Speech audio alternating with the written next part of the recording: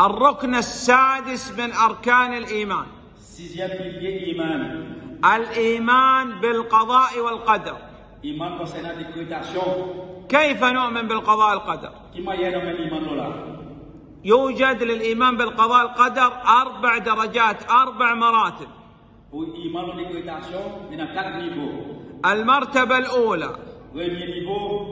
العلم أن تؤمن أن الله علم كل شيء. المرتبة الثانية. أن تؤمن أن الله سبحانه وتعالى كتب مقادير كل شيء كل شيء مكتوب.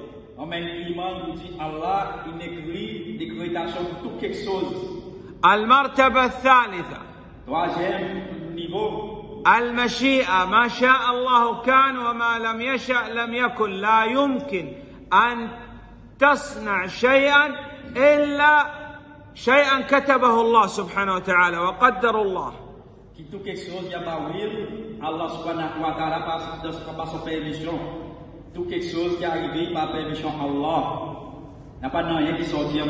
يعني هذا الأخ الآن يقول بعد الدرس أريد أذهب مثلا إلى البقاله أو إلى السوق، شاء الله ان هذا يذهب ذهب، شاء الله ان هذا لا يذهب والله لا يمكن يذهب. Par exemple, ça pourrait, si après ce soir-là, il peut aller dans la boutique. Si Allah il voulait, il peut aller. Et si Allah pas voulait, il va vous jamais capable d'aller malgré lui en bien. الرابع الخلق فالعبد مخلوق واعماله كذلك مخلوقه. Quatrième, الرابع الخلق فهذا مخلوق وأعماله كذلك مخلوقة.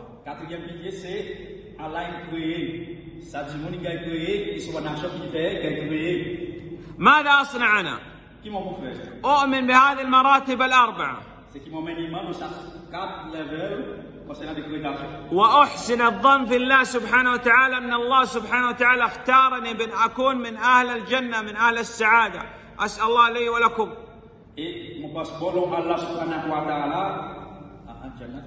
من أهل السعادة من أهل الجنة. وأعمل بهذا وأدعو الله سبحانه وتعالى ولا أمشي في طريق أهل الشقاء وأدعو الله أن يجنبني هذا الطريق بعض الناس نسأل الله العافية والسلامة. يشرب خمر. وتقول يا أخي اتق الله كيف تشرب خمر وأنت مسلم؟ يقول هذا كتب الله. ماذا أصنع؟ هذا تضربه حتى يغمى عليه. نعم. إذا أفاق من الإغماء قال لماذا تضربني؟ قل قدر الله قدر الله أضربك ماذا أصنع هذا أمر كتب الله. إذا اقتنع اتركه.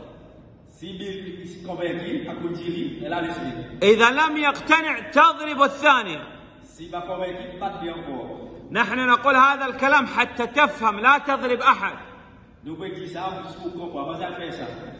سارق رفع إلى أمير المؤمنين عمر رضي الله عنه. سارق.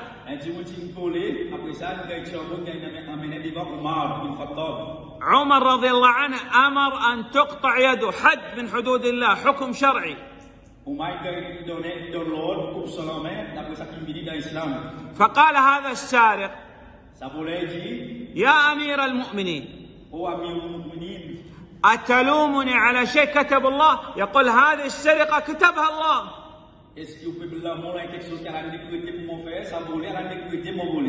فقال له عمر ونحن كتب الله أن نقطع يدك ماذا نصنع؟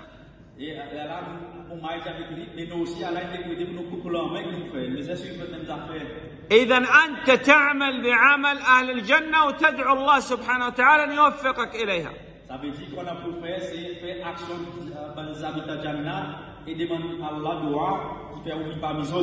ولا تعمل بعمل أهل النار أهل الشقاء نسأل العافية والسلام.